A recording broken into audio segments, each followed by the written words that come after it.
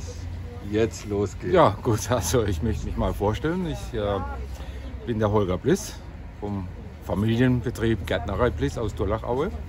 Und äh, wir betreiben hier in dritter Generation schon äh, einen Wochenmarktstand auf dem Gutenbergplatz in Karlsruhe. Wir bieten an Obst, Gemüse regional, saisonal, teilweise eigene Produkte, zugekauft auch von äh, verschiedenen äh, Betriebe, befreundete Betriebe, die wir hier anbieten. Ja. Was schätzen Sie denn am Wochenmarkt treiben als Marktbeschicker? Die Vielfalt. Die Vielfalt als Angebot, aber auch die Vielfalt an Kunden, die sich hier trifft. Am Marktstand hier trifft sich alles, jung, alt.